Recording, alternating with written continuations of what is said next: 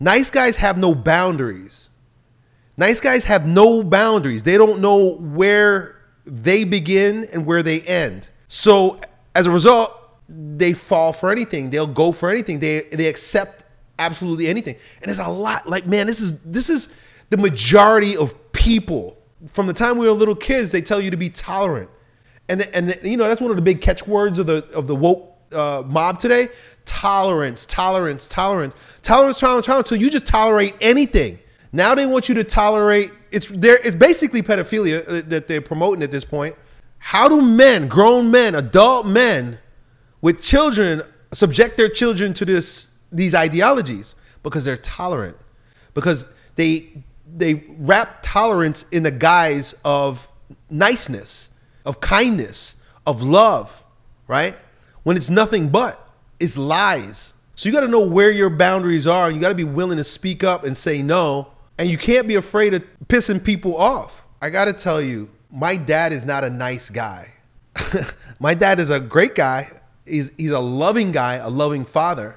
But as a as an anti-nice guy or a not a nice guy, my dad doesn't take shit from anyone at any time about anything. He speaks up his opinion no matter what's gonna happen. He has the ability to say no. And I think that's really the biggest thing. Like you got to know yourself enough to where you put up the boundaries that you never allow to be crossed. Like you did that today when you saw the pride promotion at the gym and you were like, okay, that's it. That's where I draw the line. A lot of times people don't do anything or say anything or draw any boundaries. And when they really when they really ask themselves what's the worst that could happen, it's because oh somebody's not gonna like me. I have so many people in my life right now that do not like me. Pause for a moment because I was thinking about that because the things I say on YouTube. They see my videos. These are like old family friends, even family members, and they saw me say something on Instagram or on YouTube, and they don't like me as a result. And there was a time when that would like that would hurt my feelings. But then when I really boiled down to it, it was like, yeah, I said that because I really believe that. And if I have to bite my tongue and pander to you so that you can quote unquote like me, well, that means you have no respect for me. That means I got to tuck my tail between my legs and bow down and kowtow to you and your delusion. I have to shut down all reason so I can placate you and your dysfunction. That's first of all not having any respect for me, having no respect for reason, and it's a very narcissistic way to go about life. So I don't need you. Maybe I'm the narcissist.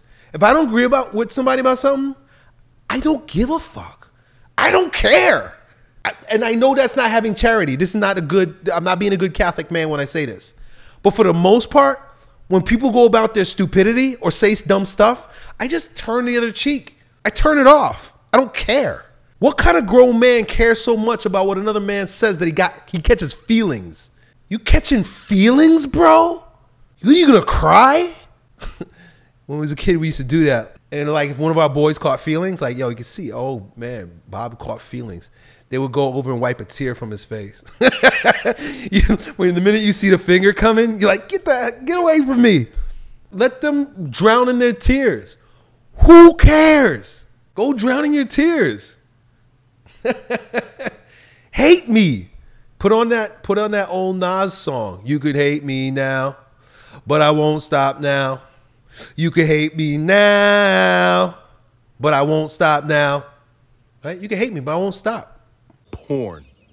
68% of church going men watch it secretly, hiding this vice from their wife. For other men, it's alcohol or drug use? Are you willing to risk your marriage, family, and finances for sinful pleasures and vice? Or are you ready to fight back? If you're a married Christian businessman or entrepreneur caught in the clutches of drinking, drugs, or jerking off, realize that every moment spent in these vices is literally destroying your life. Is this the man God called you to be? To live like this? If you're ready to go to war against vice and take your life back, here's my advice. Click the link in this video or visit waronvice.com to book a call with me to see if we're a good fit for going into battle together. I'll see you on the inside.